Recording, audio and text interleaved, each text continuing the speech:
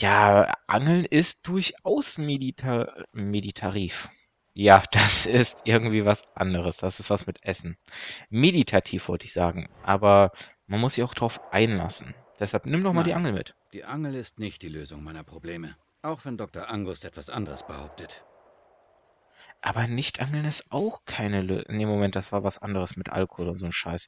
Äh, gut, was haben wir hier unten? Ein Boot haben wir da.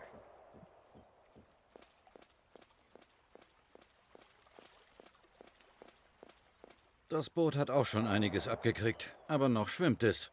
Muss ja. Gut, solange das Boot noch schwimmt. Aber was ist hier mit der Reuse? Wenn schon keine Angel, dann vielleicht eine Reuse. Ich habe Dr. Angus gesagt, dass ich Angeln unerträglich finde. Daraufhin hat sie mir die Reuse empfohlen. Äh, nehmen wir die doch ich habe dann? schon alles versucht, aber ich kann mit diesem Ding einfach nichts anfangen. Hm, vielleicht mag er dieses Überfischungsprinzip nicht. Ähm, hier ist ziemlich viel Müll, lieber Band. Das gehört heutzutage leider dazu, wenn man so nah am Wasser lebt. Früher, oder beziehungsweise aus unserer jetzigen Sicht, ist es nah am Wasserleben ja richtig geil, weil man hat dann schön Wasser, Strand, alles ganz toll. Und wenn man aber jetzt in der Zukunft schon akzeptiert, dass der Müll an seinem Strand rumliegt, das ist irgendwie, wow. Früher hätte ich das noch gemacht, aber spätestens in einer Woche sieht es hier wieder genauso aus. Die reinste Sisyphos-Arbeit. Ja, aber das heißt nicht, dass diese Sisyphus-Arbeit schlecht ist, Band. Man muss auch manchmal Sisyphus-Arbeit begehen, wenn man etwas Schönes will. Naja gut, kümmern wir uns um die Tür hier. Der Keller. Mausoleum eines gescheiterten Lebens. Und der einzige Ort, wo ich Ersatzteile für meinen Fogger finden könnte. Dann wollen wir doch mal direkt rein. Tja, die ist abgeschlossen. Der Plan war wohl, alles hinter mir zu lassen. Ich hatte an dem Tag so viel getrunken, dass ich nicht einmal mehr weiß, wo ich den Schlüssel versteckt habe. Hm. Damit. Naja gut, ich weiß ja zum Glück schon, wo er den Schlüssel versteckt hat. Wie gesagt, ist ja nicht mein erstes Mal. Aber erstmal das Haus anschauen. Früher sind wir jeden Sommer hergefahren. Meta hatte die Hoffnung, dass wir hier zusammen alt werden. Von diesem Traum ist nicht mehr viel übrig geblieben. Nur noch das Haus und ich. Aber wir sehen schon, Band ist eine gebrochene Persönlichkeit, mehr oder weniger. Ähm, wir werden auch gleich erfahren, warum. Da will ich jetzt doch nicht vorgreifen. Nicht gerade die richtige Farbe für einen Sargdeckel. Och, Ben, das ist eine Tür, kein Sargdeckel. Brauchst du vielleicht eine Brille? Na, ab rein mit dir.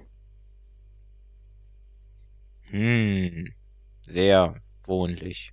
So mit dem Esstisch und dem Haustier Fliege da. Gut, gehen wir erstmal in die Tiefe der Wohnung rein und schauen uns das Ganze an. Und fangen von hinten nach vorne an. So, Mein. Bett.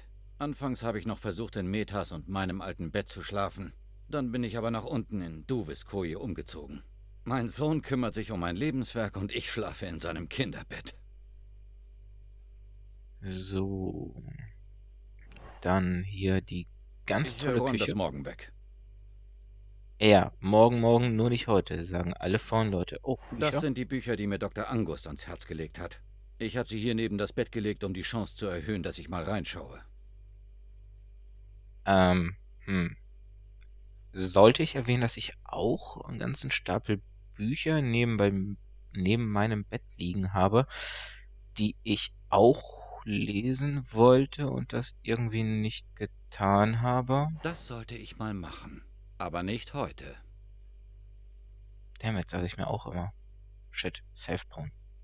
Hm. Ich bin ein ganz toller Buchhändler, wirklich. Ich lese alles Aktuelle und so. Schnell weiter. Wenn ich nicht zum Essen in die Stadt fahren würde, käme ich nie unter Leute. Ein voller Kühlschrank wäre da sozialer Selbstmord. Oh ja, da kann jeder Gamer einem beipflichten. Deshalb kaufen Gamer auch nie den Kühlschrank voll, sondern kaufen sich immer die Tiefkühlpizza bei Real. Moment. Vorurteile. Nein, weg von euch, von mir, Vorurteile. Schnell weitermachen. Ein trauriger Anblick.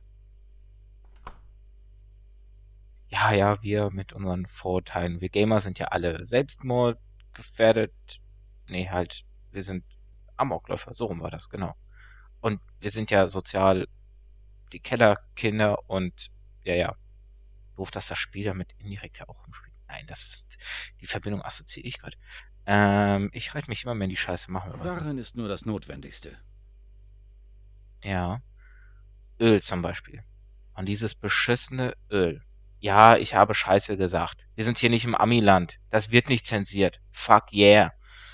Dieses blöde Öl, das brauchen wir gleich noch. Und ich habe die ganze Zeit gedacht, ich bräuchte so Schmieröl oder Schmierfett oder so ein Scheiß. Kein Rapsöl.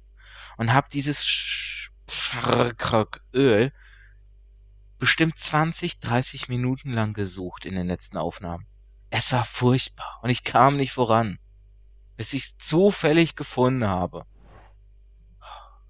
Ganz ehrlich, man muss wirklich jeden kleinen Fissel hier absuchen. Böse Leute von Dedalek, ganz, ganz böse. Darauf achtet man doch nicht. Rapsöl.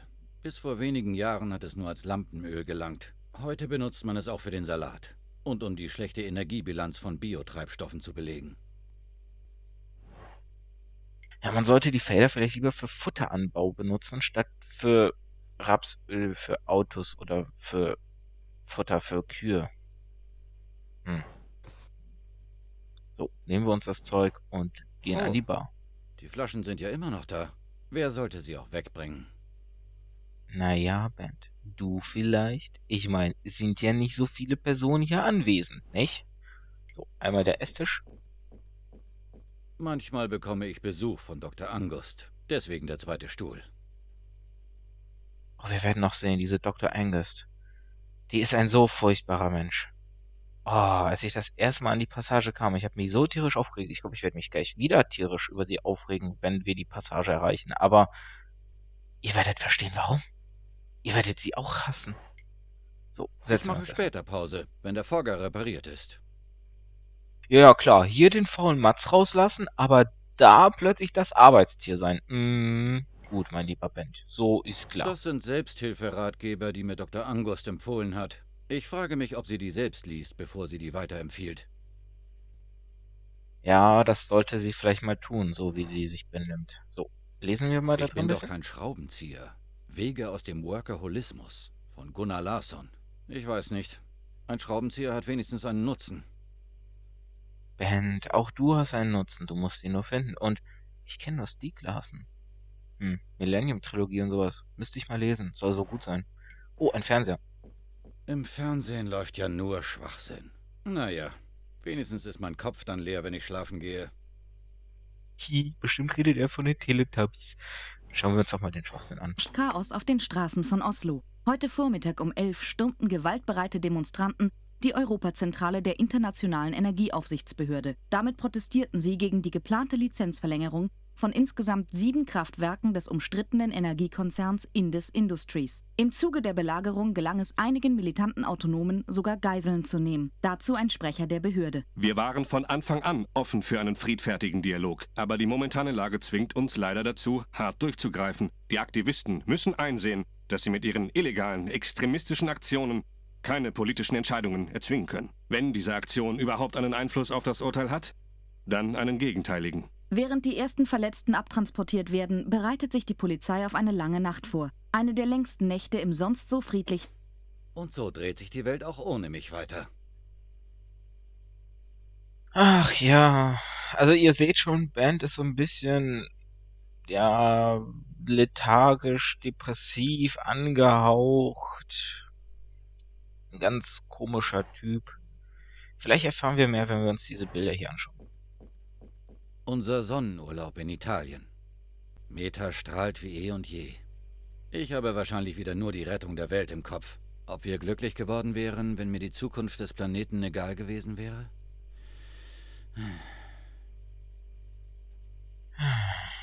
Ach, lieber Band. Und meine Güte, ich habe das Gefühl, ich schreie zu sehr. Ähm, wenn ja, sagt's mir doch mal, dann versuche ich einen Ticken leiser zu sein. Kein Protest? Ich schreie nicht? Sehr schön. Gut, dann rede ich mal so weiter. Selbst in Italien war ich in Gedanken bei der Algenforschung. Ich sehe es an meinen Augen. Algenforschung. Mhm. Wofür denn Es Algenforschung? tut mir leid, Meta. Am Ende habe ich uns beide geopfert. Für eine Vision, die niemanden mehr interessiert. Ach Gott. Also ich frage mich, was seine Algenforschung, Vision und seine Forschung jetzt mit dem Opfern der Beziehung. Ja, brauchen wir definitiv noch mehr Infos, aber etwas, was ich nicht vorenthalten möchte, weil ich es bei jeder Aufnahme wirklich erwähnt habe, auch wenn sie gezeichnet ist. Die Frau, der Kerl, Hut ab, Band. Hut ab. So, dann haben wir natürlich noch ein zweites Mein Bild. Team auf der Atlas 11. Wir dachten wirklich, die Zukunft der Welt ruhe auf unseren Schultern.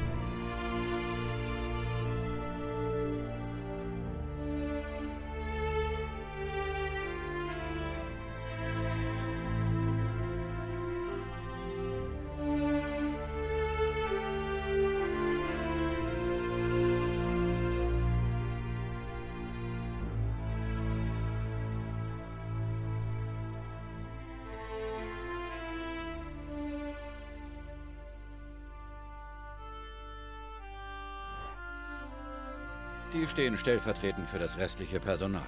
Inzwischen ist das Team so groß geworden, dass weder ich noch Barney wissen, wer eigentlich alles für uns arbeitet. Ich meine, für ihn arbeitet.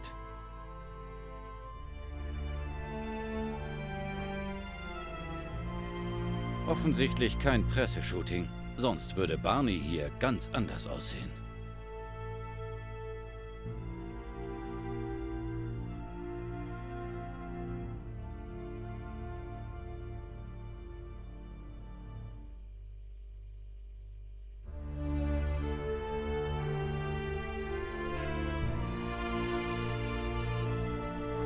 Mach dir keine Sorgen, Lissa. Ich komme schon irgendwie zurecht.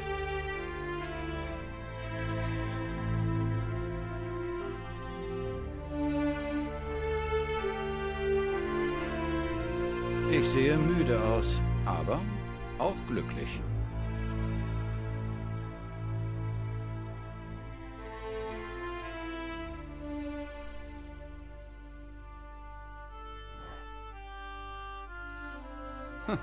Jetzt guck mal nicht so, Junge. Du darfst jetzt all die Sachen machen, die deinem Vater verboten wurden. Du bekommst das schon hin.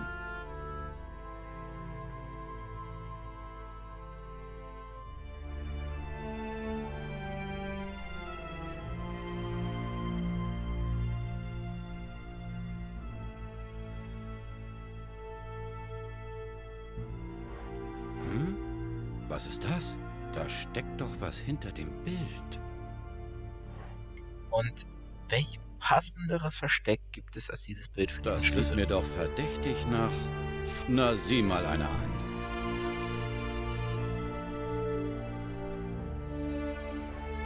Hier habe ich ihn also versteckt.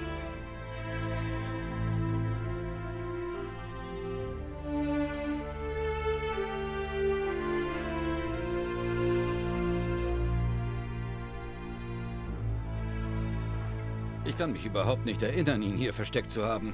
War ich denn wirklich so betrunken? Na gut, jetzt haben wir den Schlüssel und können damit endlich den, ups, den Keller betreten.